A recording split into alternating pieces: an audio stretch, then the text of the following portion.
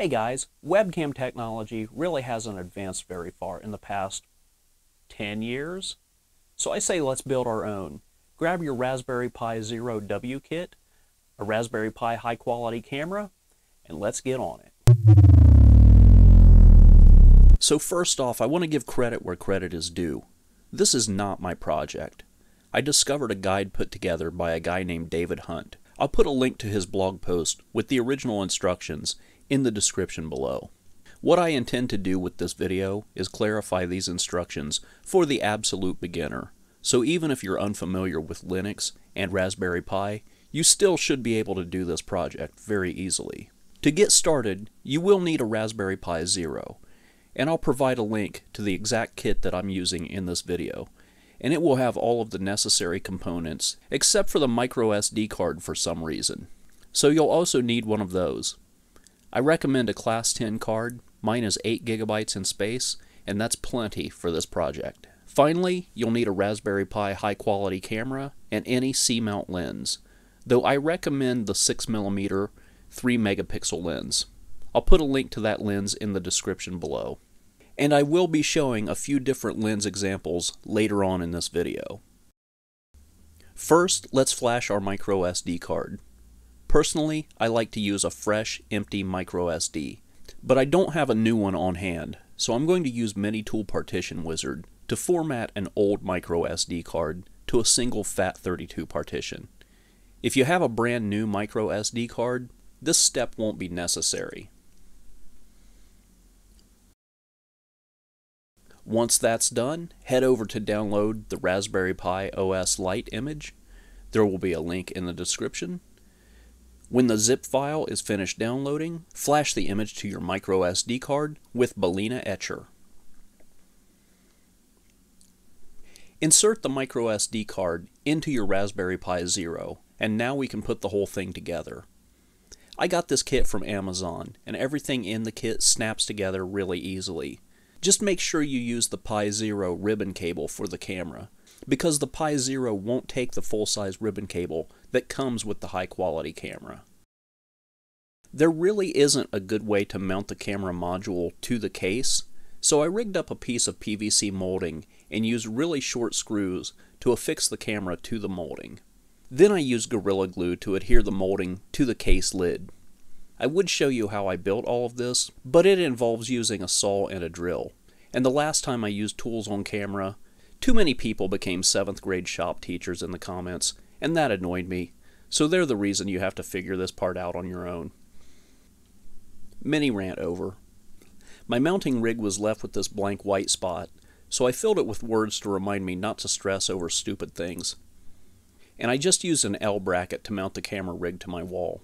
This camera is great that it has such a small footprint, but I'm getting ahead of myself, because at this point we need to build the OS and drop in the camera software.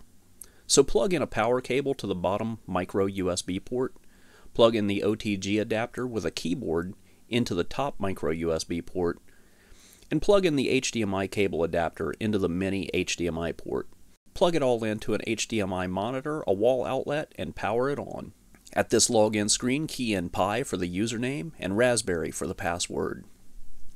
Now we can start entering terminal commands. You can follow David Hunt's guide here and just start typing in all of the commands if you want, but I'm lazy and I would rather copy and paste as much as possible. So I'm going to enable SSH on the Pi and do all of this through a PuTTY window on my main PC. So the command we want to enter is sudo raspi config. This is going to allow us to set up our Wi-Fi settings, enable the camera, and enable SSH. It's going to open the Raspberry Pi configuration interface. So from here, arrow down to option 2, select N2, wireless LAN, and enter in your region. Then key in your Wi-Fi's SSID and password. Hit enter to finish. Then key down to option 5, hit enter to P1 camera, and key left to yes.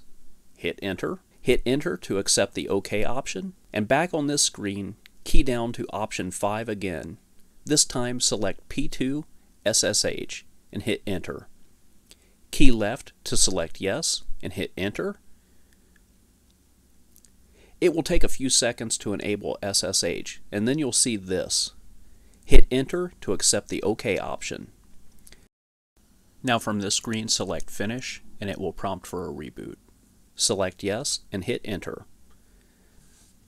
Allow the Pi to fully reboot. Again, that's username Pi and password Raspberry, all lowercase. And at the terminal prompt, type ifconfig and hit enter. This will display the Pi Zero's IP address. Write this down if you don't think you'll be able to remember it, and head over to your main PC. From here, I'm using Windows and PuTTY for the following instructions. If you want to use not Windows and not PuTTY, that's cool, you do you, but it's up to you to know how to do that and make it not my problem. Mini rant over. So download and install PuTTY. I'll put a link in the description. Launch PuTTY and type in the IP address of your Raspberry Pi Zero. Click on Open, and with this pop-up dialog, select Yes. Now we can log into our Pi's terminal remotely with the username Pi and password Raspberry, and we can start entering the commands to make the magic happen. And again, I would like to remind everybody that this is David Hunt's project, so you can copy and paste most of these commands from his blog page on this project. We need to install Git, so enter the following command. After that's done, change to your home directory by entering the command cd space slash home slash pi and clone David's Git project with the git clone command. In the UVC-gadget directory, we need to create a systemd service. So enter the command sudo nano piwebcam.service. That will create a blank document. Now pay attention. I don't mean to sound stern here, but this is very important. The next part on David's page left me with a head scratcher that had me hung up for many hours. He supplies a block of text for the service, which looks like this. But there's a small bit of text that's missing.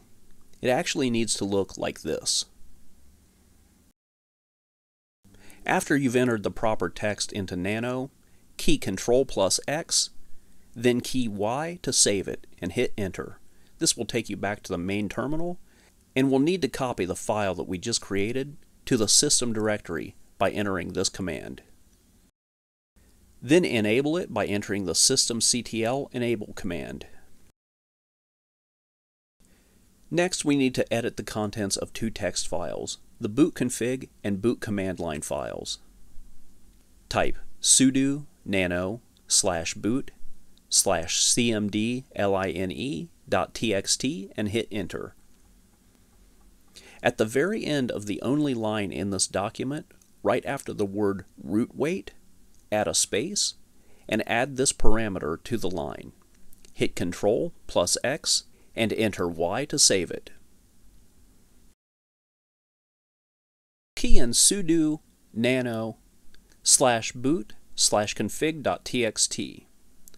Go all the way to the bottom of the configuration file, and directly below GPU underscore mem equals 128, key in DT overlay equals DWC2.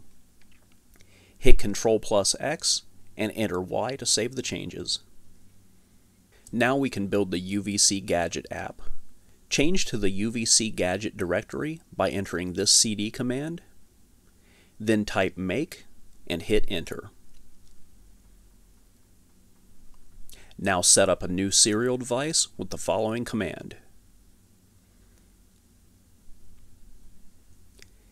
At this point, shut down your Pi by entering sudo shutdown 0.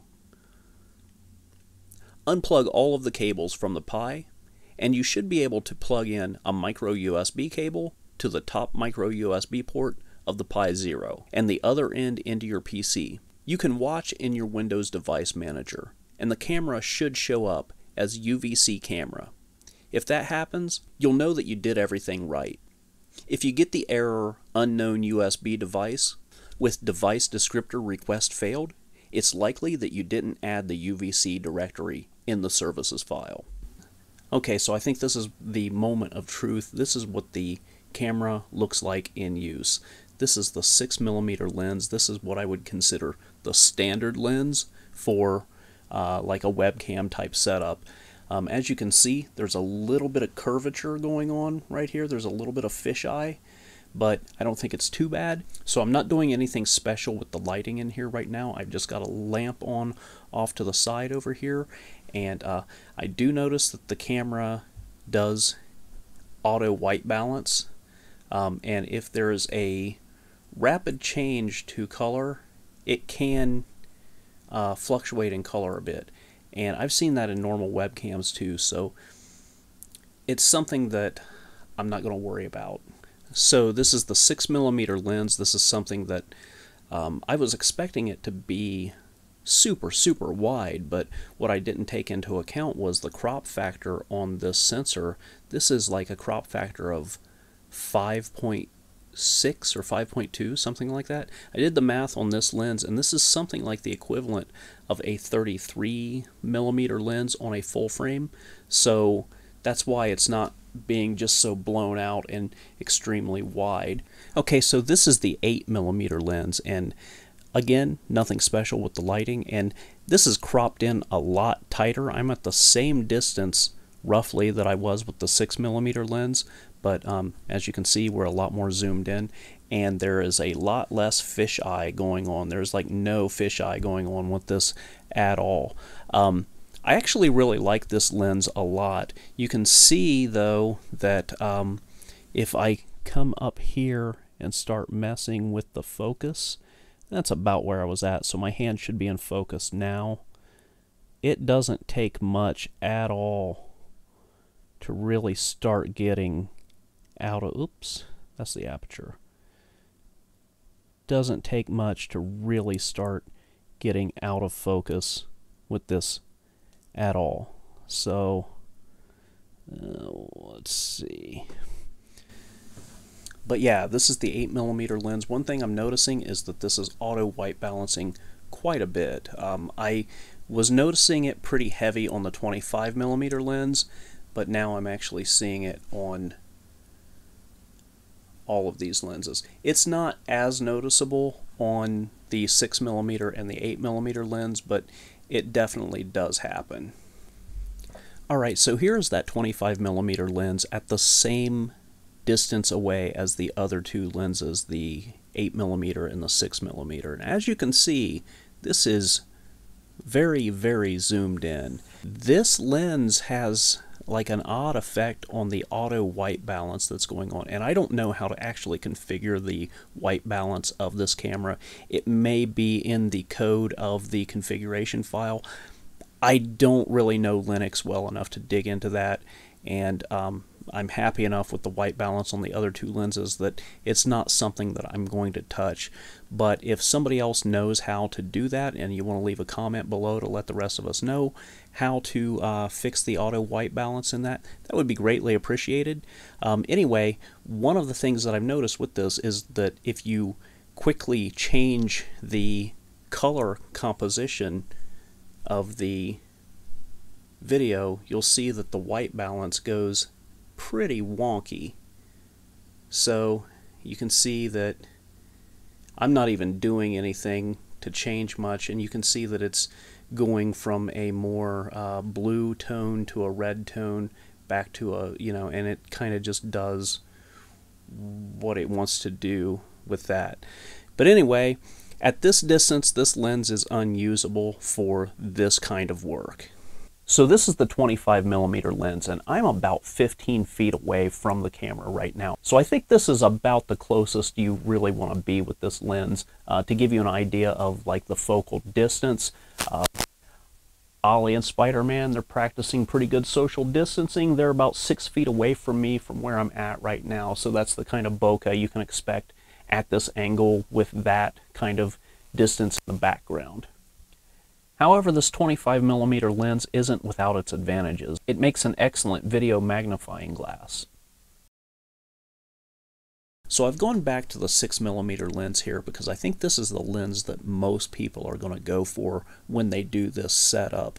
Um, and what I've done is I've gone, I've set up a little bit better lighting for this, and um, I've gone into OBS Studio and um, I've played around with some color co correction, which that's a little bit dull, but I actually like it. I kind of prefer it. I, I don't want something quite so vibrant. That's just my personal taste. And I Also applied this low contrast LUT, and as far as like a, a classic retro look, I think this is really cool.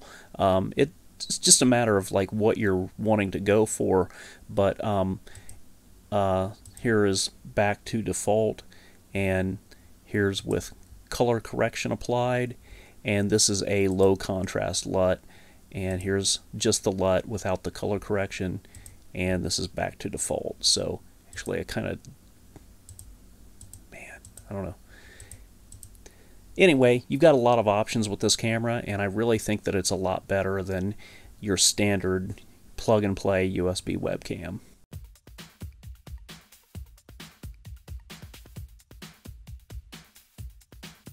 If you still find all of this to be too overwhelming, I will be making two files available for download to all of my patrons on Patreon. One will be a document with all of the commands for easy copy and paste. This will be available to my Tier 1 supporters and higher. And the second will be an image of this build that you can just download and flash with Etcher, and all of the work is already done. This image will be available to my Tier 2 or higher supporters. Which reminds me, I would like to offer all of my sincerest thanks to all of my current Patreon supporters. If you would like to help out on Patreon, there will be a link in the description. Donations are appreciated, but never expected. The best way to support my work is to like, comment, share, and subscribe. Thank you for watching, good luck with this project, and I'll see you next time.